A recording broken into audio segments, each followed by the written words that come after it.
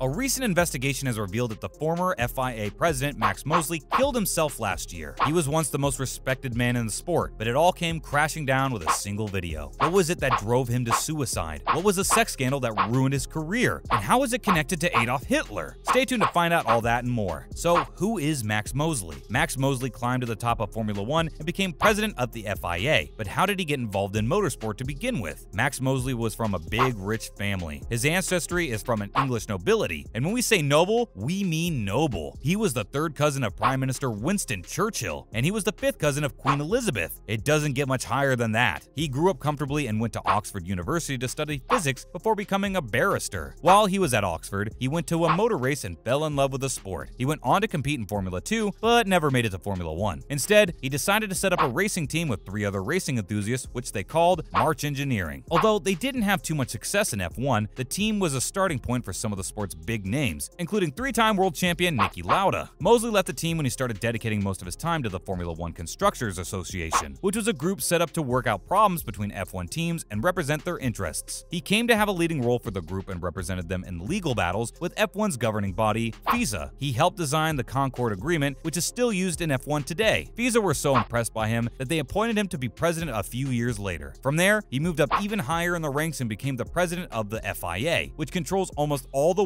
world's championship motorsports. Now, what is he going to do with power? Now, let's talk about Mosley's FIA legacy. Max Mosley left a big impact on Formula One. He pioneered safety reforms, fairness, and promotion of the sport. But his career was not without controversy. Early on, he gave his longtime colleague and friend Bernie Ecclestone the commercial rights to Formula One. This meant that he would profit heavily from arranging the broadcasting of the sport, which helped balloon his net worth to over $3 billion.